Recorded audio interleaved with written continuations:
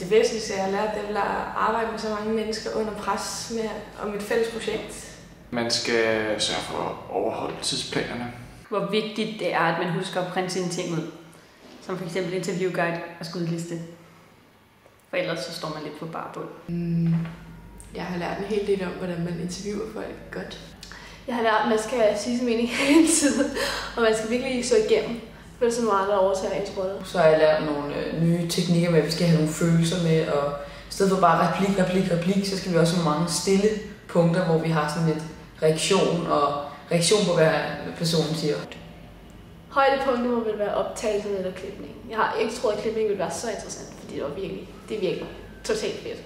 Det, jeg har aldrig rigtig brugt mig om tekniske ting, men det her det er virkelig vigtigt for. Åh, det har været opdag. Øh, det var jo sjovt. Det var rigtig fedt.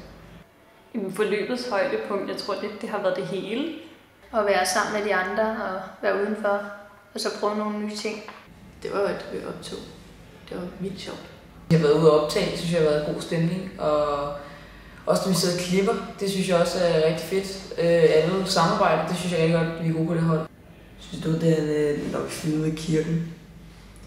På grund af, at den, jeg tror, alle de synes, det var fedt med Dorlin, og det, at vi filmede i en rigtig kirke. Det har været, det har været rigtig sjovt at være, være ude på sæt et andet sted end, end inde i studiet. Det er både godt og skidt, at der er nogen, der ved bedre end en selv. Man kan hurtigt blive sur over, at de er så meget klogere end en selv, men man kan også vælge at lære en hel masse af det. Inden der klippede jeg på en helt anden måde, og nu, når jeg lige har fået at vide, hvordan man gør, så synes jeg, det kan jeg tage med ind i fremtiden, som jeg tror, jeg kan gøre meget mere ud af det. Lære, hvordan udstyr fungerer. De bare praktiske ting meget om, om krydset, om, øh, om sigteretninger og sådan noget, som er noget svært lige at få styr på. Jeg synes, jeg har lært rigtig meget om funktionerne, der er på, en film, på et filmhold, hvor vigtige alle er, og hvor vigtigt det er, at man gør det, man skal. Hvor vigtigt det er, at man tjekker indstillingerne på kameraet. For ellers så får man blå optagelser. Men det er rigtig meget om, hvordan man skal opføre sig på et sæt, og man ved mere meget om, hvad man skal sige. Hvad har jeg ikke lært? Jeg har jo lært, jeg har jo lært det. Altså, jeg, det ved jeg, jeg synes bare, jeg har suget til mig. Jeg tror ikke, jeg kan liste det op. Ja. Når, når udstyret er professionelt, så, så føler man, at man nærmest kan mere. Det sværeste?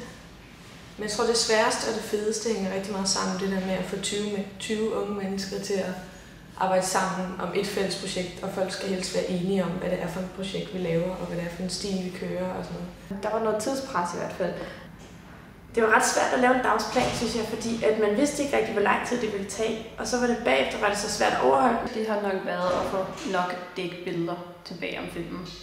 Det var nok at skabe et overblik over tingene, mens man optog, sådan så man ikke endte med en masse tilfældigt. At holde mig selv tilbage, fordi der er rigtig mange ting, øh, som jeg gerne vil blande mig i. Det sværeste har været at skulle komme over det der med, at, at der faktisk er voksne mænd, der skal sige imod, fordi man er uenig med dem. Det har været rigtig svært, men det har også været rigtig sjovt at lære.